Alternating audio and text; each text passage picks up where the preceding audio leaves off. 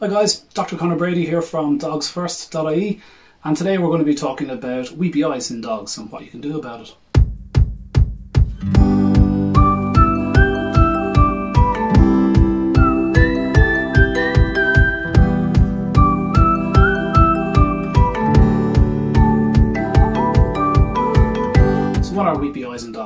Weepy eyes are the, are the tears that are coming out of your dog's eyes all the time.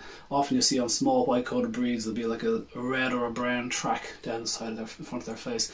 And th- that red colour comes from the porphyrins that are in the tears, which are entirely natural compound, iron based compound, and being iron rust, uh, it, it, gives the, the tears an orangey brown colour over time. The black crust that you pick off um, the tear duct, the tear tracks sometimes is actually a fungus that enjoys the, the, the wet, moist conditions and uh, you can keep picking it off, but it'll keep coming back. So obviously the issue isn't just cleaning away the tear stains or picking off the fungus. The issue is turning off the tap in the first place. There's lots of reasons that your dog might have teary eyes. I mean, he might have something in his eye, so you know it's logical. Take a look inside the eye. If you want to have your vet or groomer take a look at it. Uh, second reason will be a structural issue. So, you know, some breeds have mushed up faces and that can distort their tear ducts and all sorts of things. So, yes, structural issues can be a bit of a problem too. But by far, the most common cause of weepy eyes in dogs is internal inflammation. We know this because we can do something about it. Uh, small steps alleviate tear, tearing in dogs. So uh, we also know that inflammation builds up over time. So this issue is far more prone in older dogs than younger dogs. So it'll kick in at mid-age or older age. You can take two brothers and you can, they're both of eyes and you can put one on a raw diet and it fixes it. So we know this isn't inevitable. There is something you can do about it. Don't think that this is just a normal part, normal thing for this breed to be suffering. It's a smoke alarm going off. That's how I look at tear, um, tearing eyes. I'd say, okay, what is wrong under the hood that the tears are leaking so bad? You need to address what's going on under the hood.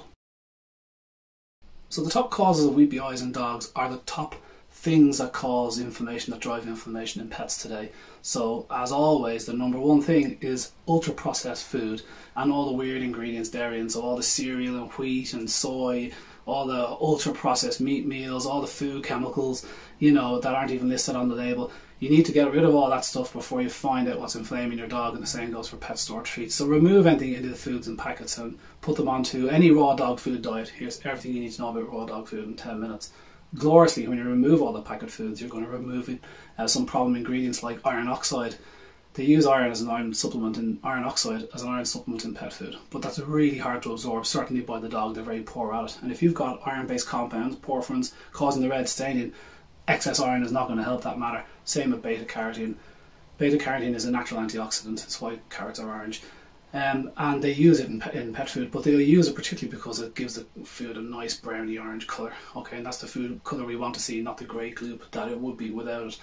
So too much beta, beta carotene can result in staining too. So removing um, dry pet food, um, and packet treats and stuff just sorts out all those issues. You got to feed a raw dog food diet is is is the, the first thing you're going to do. But the other things that are going to cause issues are going to be um, chemicals in your dogs. So excess chemicals. If your dog doesn't have fleas, stop using flea chemical flea control. If your dog doesn't have worms, stop using chemical worm control. There's articles on fleeing, natural fleeing, and natural worming. Uh, click on them and see what you can do uh, just to check for those parasites before you start thinking how you're going to treat them. And I would treat them naturally. And also, guys, question the use of annual boosters in already vaccinated dogs. Guys, that's a complete dupe. Forget about it. Uh, the, all those things are increasing the pressure inside the body, inflammation, drawing on resources, and inflaming your dog. Generally, if you remove those things, you can see a vast improvement. Another big one is tap water. Really bad quality tap water or high chlorinated, high fluoride water will produce uh, more tears in dogs. Just move your dog onto bottled water for a couple of weeks and see the difference, or filtered water, or even distilled water at a minimum. So um, even that alone can, can really help. Finally, consider um, the fact that the health status of your dog. So if tears are the signs of inflammation, what internally can, can drive inflammation? Well, yeah, kidney disease can do it, heart disease, absolutely.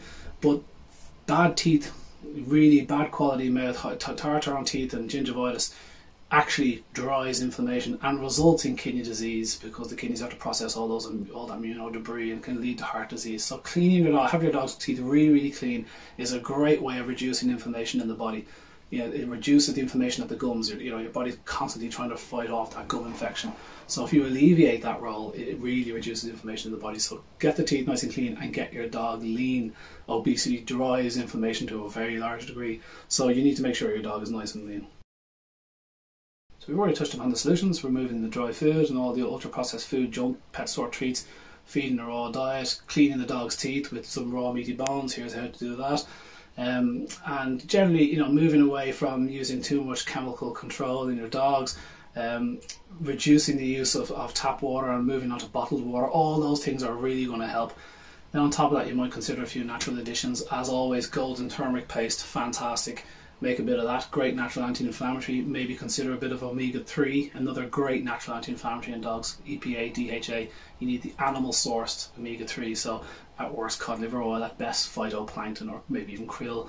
Um, so you need to use a bit of that in your dog's diet. All those things will work too.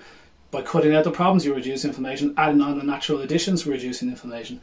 Uh, all those things are really going to work to to alleviate the WBI issue in your dog for sure.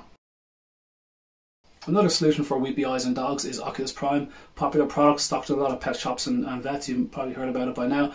Um, so it's a fantastic product. It's a natural anti-inflammatory that loads membranes. Again, it's seaweed based. This time it contains a little red seaweed moss, uh, sea moss, and it's highly anti-inflammatory. So it's an excellent product. Works about 60-70% of the time, which is a good hit ratio for a natural product. If it doesn't work for you, you get your money back as always with all our products. Uh, no quibble whatsoever. It doesn't work, money back guarantee. You'll find that on our website at dogsfirst.ie. Okay guys, thanks for listening. I hope that video helped you out somewhat and I'll see you again at the next one.